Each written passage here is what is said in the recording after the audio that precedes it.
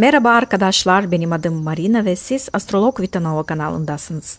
Bu yay burcunun temsilcileri için Nisan 2024 için astrolojik tahmindir. Nisan 2024 sizin için sıkılmanıza izin vermeyecek ve kelimenin tam anlamıyla parlak, aktif bir zamandır. Bu ay güneş tutulması etkisiyle keyif, yaratıcılık ve hobi programınız devreye giriyor.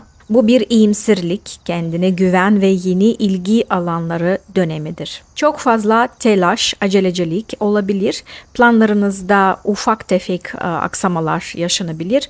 Ancak bu bile genel iyimser ruh halinizi bozmayacaktır. Merkür gerilemesi eski duyguları, ilgi alanlarını veya ilişkileri hayatınıza geri getirebilir.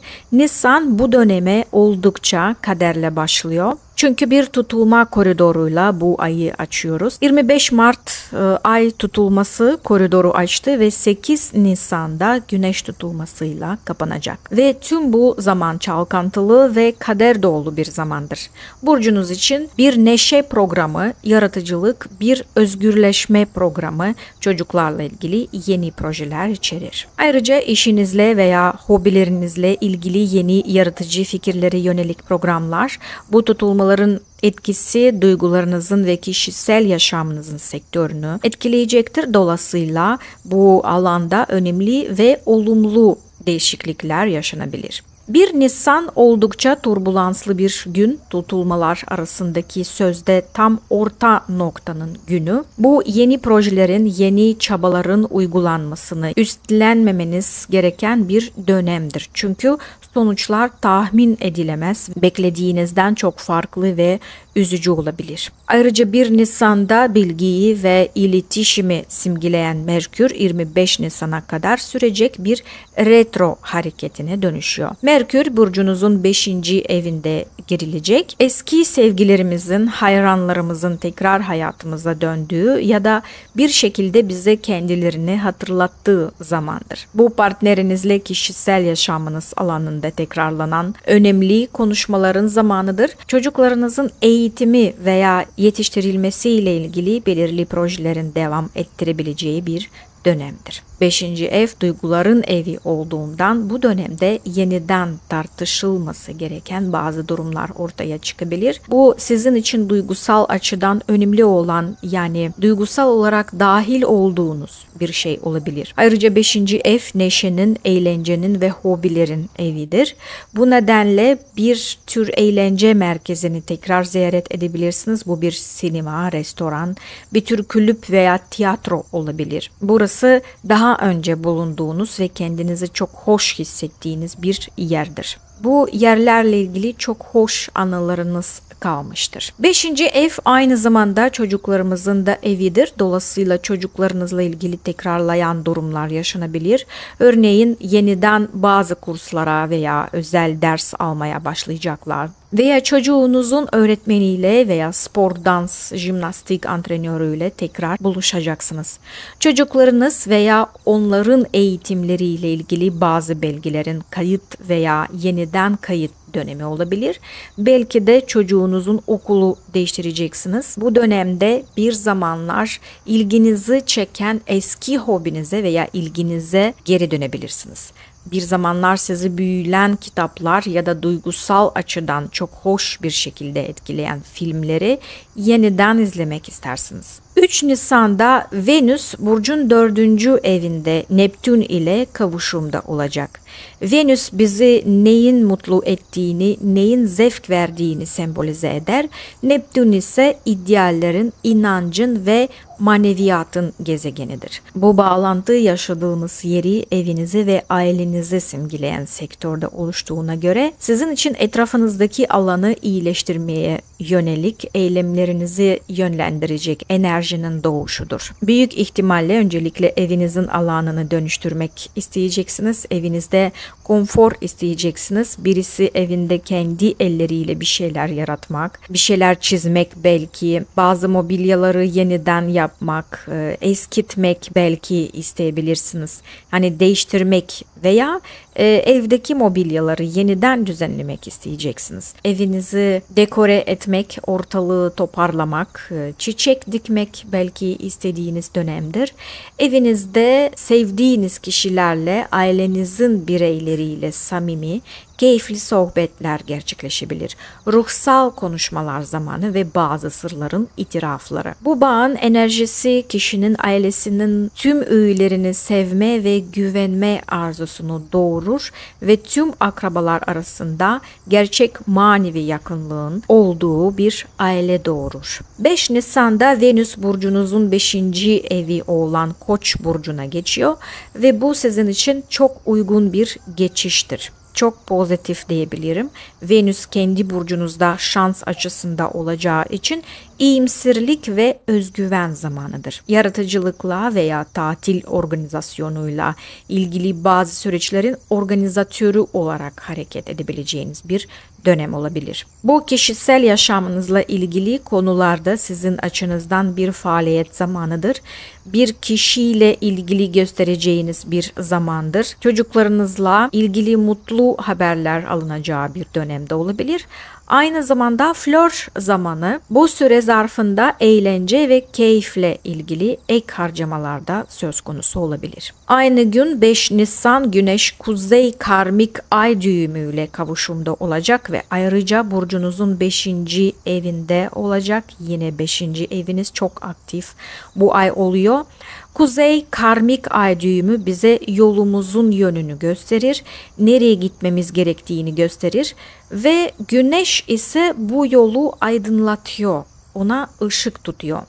Bu kişisel yaşamınızla veya çocuklarınızla yine ilgili konularla ilgili önemli kararların zamanıdır. Ayrıca bu sefer size yeni bir neşe kaynağı da getirebilir. Kendinizi yaratıcılıkla veya sporda, bir tür spor aktivitesinde veya dansta ifade etmeniz teşvik edecek bir tür proje olabilir. Ya da belki bir dans kursu sırasında yeni bir romantik tanıdık ortaya çıkacak ya da birbirinizi tanımak amacıyla bir dansa e, davet edileceksiniz ve bu kişi size çok hoş gelecek. Yani olasılık olarak örnek sunuyorum tabii ki. 8 Nisan'da yine burcunuzun 5. evinizde tam bir güneş tutulması meydana geliyor. Bu güneş tutulmasının hepimize ve her bir burç üzerindeki etkisine dair daha detaylı bir video önümüzdeki günlerde ayrı e, yayınlayacağım. Yeni videolarımı kaçırmamak için abone olun ve zile tıklamayı unutmayın. 10 Nisan'da Mars burcunuzun dördüncü evindeki Satürn gezegeniyle kavuşumda olacak. Bu gücün şekillendiği zamanıdır. Çünkü Mars güçtür ve Satürn ise bir taştır. Bu aynı zamanda karmamızdır. Burcun dördüncü evi yaşadığımız yeri evimizi, gayrimenkulümüzü, mülkümüzü ve ailemizi sembolize eder. Taşınmaya karar verebilirsiniz. Bazılarınız bir evi yenilemeye veya bir ev inşa etmeye karar verecek. Bazılarınız iç tasarım veya mimarlık diplomasını tamamlanmış olabilirsiniz. Dolayısıyla bu dönem sizin için tasarım alanında ya da gayrimenkul alım satım alanında çalışmaların başlangıcı olabilir. Olumsuz tarafı bu bağlantının kapalı bir alan hissi, belirli bir sınırlama hissi ve bir tür alanın üzerimizdeki baskı yaratması olabilir. Sanki özgürleşmek istiyoruz. Yani böyle bir his olabilir sizde. Ailenizle ilgilenmeniz gerekiyor ya da yakınlarınızdan birinin dikkat etmesi gerekecek. Özellikle de yaşlı ebeveynleriniz varsa. Finansal harcamalarda kendinizi biraz sınırlayacağınız önemli bir aile kararı alacaksınız. Mülkünüz ve gayrimenkulünüzle ilgili belgeleri, tezçili, vatandaşlık veya oturma iznini almanız mümkündür. 11 Nisan'da Güneş burcunuzun 5. evinde geri giden Merkür ile kavuşumda olacak. Uzun zamandır görmediğiniz bir kişiyle beklenmedik e, buluşma dönemi, uzun süredir iletişim kurmadığınız kişilerden haber alabileceğiniz bir dönemidir. Bir zamanlar tamamlanmadığınız fikirlere ve girişimlere zihinsel olarak geri dönebilirsiniz. Bugün geçmişten bazı e, olayları hatırlayabilirsiniz. Sizin için oldukça acı vericidir. Ve bu aslında bunun üzerinde çalışmanızın, affetmenizin, unutmanızın ve devam etmenizin gerekli olduğunun bir işaretidir. Ayrıca geçmişte kaçırdığınız fırsatları ve bir zamanlar kendinizi ciddi şekilde sınırladığınızı ve istediğiniz gibi yaşamadığınızı da hatırlayabilirsiniz. 19 Nisan'da Güneş Boğa burcuna geçiyor ve burası burcunuzun 6. evinin alanıdır. İş, sağlık ve günlük rutininin evi. Bu dönemde hem evde hem de işte yapacak çok şeyiniz olacak. Zaman zaman size her şeyin yalnızca omuzlarınızda olduğu, her şeyden sorumlu olduğunuz, her şeyi kendinize çektiğiniz anlaşılıyor. Bu duygular enerjinizi büyük ölçüde tüketebilir ve ruh halinizi bozabilir. 20 Nisan'da transit Mars, kara ay yani bildiğimiz Lilith ile karşı açıda gergin bir görünümde olacak ve burcun 4. ve 10. evlerini etkileyecek. Bu duyguların, sözlerin ve eylemlerin çarpıtıldığı bir zamandır. Bu önemli belgeleri imzalamamanız, önemli anlaşmalara girmemeniz ve anlaşmazlık başlatmamanız gereken bir dönemdir.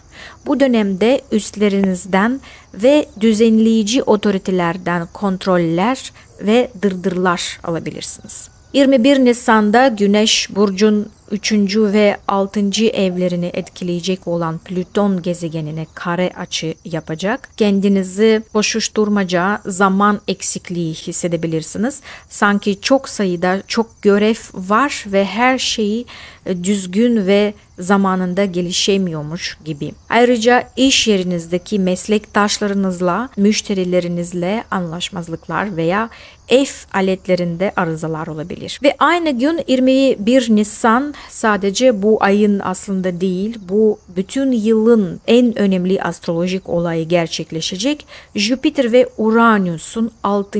evinizde Boğa burcunda tam bir kavuşum anıdır. Uranüs devrimi, hızı, yenilenmeyi ve ilerlemeyi sembolize eder.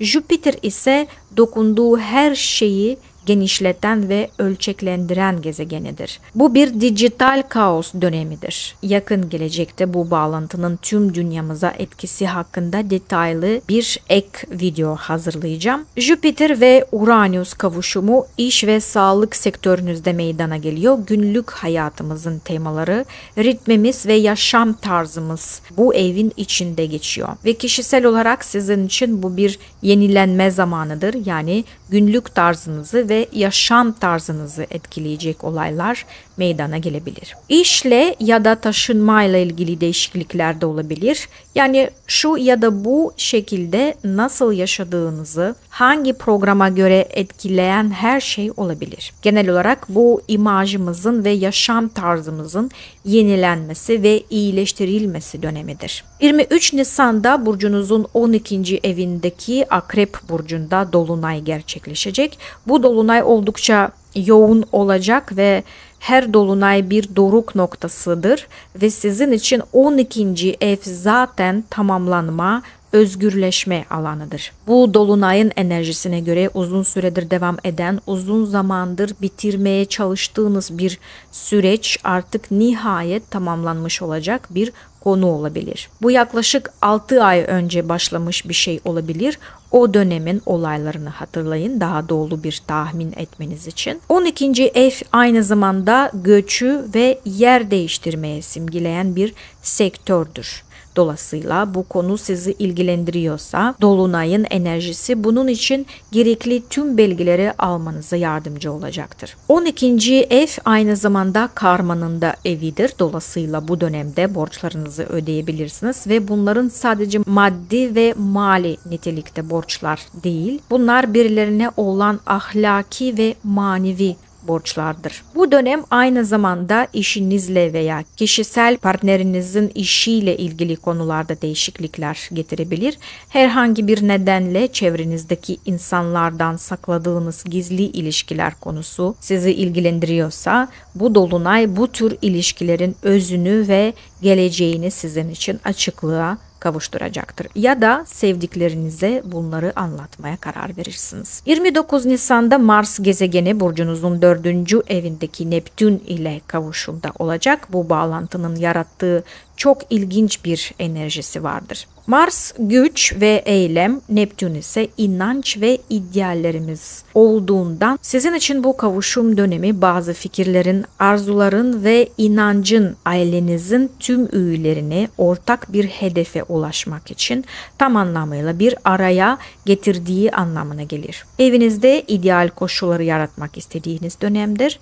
Aynı zamanda Neptün yanılsamaları ve aldatmacaları simgelendiğinden aile üyelerinizden birinin davranışlarından veya düşüncelerinden dolayı hayal kırıklığına uğrayacağınız bir dönem olabilir. Ve ayrıca memleketinizde hayal kırıklığına uğradığınız bir şey olabilir ve bu olay sizi taşınma konusunda sevk edebilecek bir şey olacak. 30 Nisan'da Mars burç değiştirip 5.